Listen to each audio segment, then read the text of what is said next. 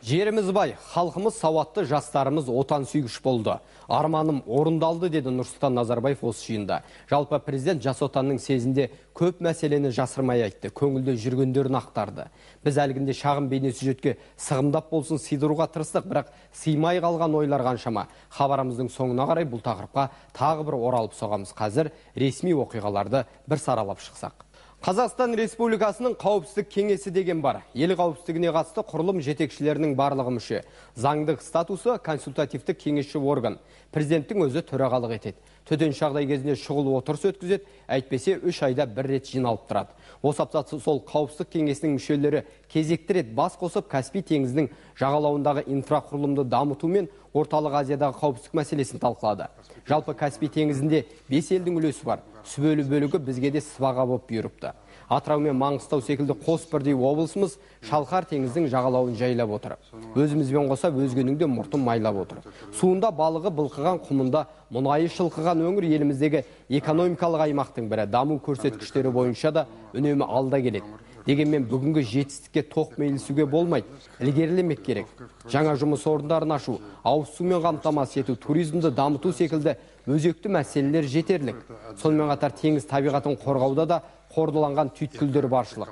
Судың ластануына мұнайдың төгілуіне жол бермеу қажет. Яғни экономиканың дамуы экологияға кесірін тигізбегені абзал деді президент.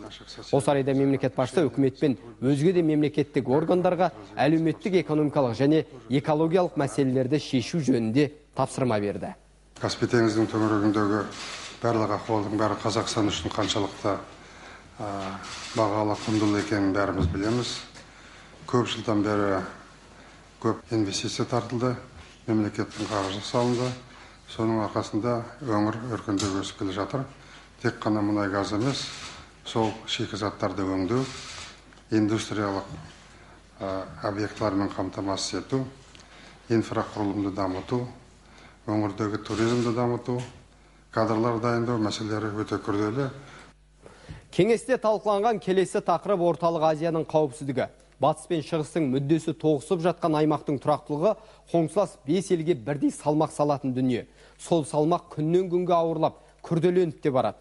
2014 жылы Ауғанстаннан халықаралық коалициялық күштер шығарылады. Соның әсерінен лаңкестер есіріп, есірткі тасымалы етек алуы мүмкін. Демек орталық Азияға төніп тұрған қауіп қатердің бұлты қоюлана түседі деген сөз. Бес мемлекет бекемдік танытып, бірлесе қимылдамаса болмайды.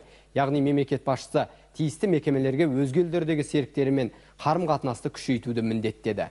Сонымен қатар нұрсұлтан назарбаев осы аптада бірнеше қабылдаулар жасады. Ақордадағы кездесулер жайлы тілшіміздің шолуы.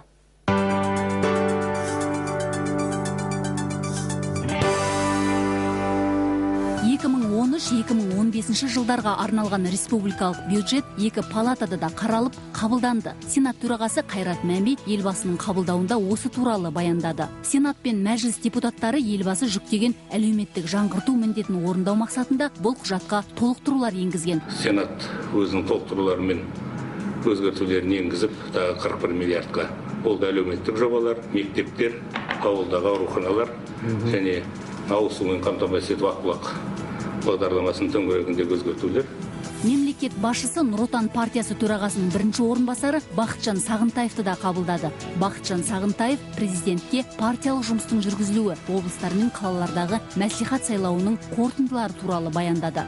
Бұдан былай біздегі санақ халықаралық шарттарға сай жүреді. Бұған жаңа әзірленген мемлекеттік статистика туралы заң мүмкіндік бермек. Мемлекет басшысының қабылдауында агенттік төрағасы әлихан смайылов санақ тәсілін жетілдіру және ақпараттық жүйені автоматтандыру бағытында атқарылып жатқан жұмыстар туралы есеп берді. Биылғы жылы қазақтың ауқымы бүкіл қазақстан халқының ішінде алпыс бес процентке жетті.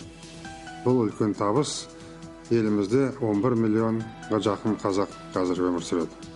Бұл еліміздің ішіндегі аналарға балаларға деген мемлекеттің үлкен қамқорлығы денсаулық сақтау мәселесінің жоғарғы деңгейде екенін көрсетеді. Мемлекет басшысының қабылдауында ұлттық банк төрағасы григорий марченко да болды. Бас қаржыгер елдегі банк жүйесінің жай күйі мен валюта нарығындағы жағдай жөнінде баяндады.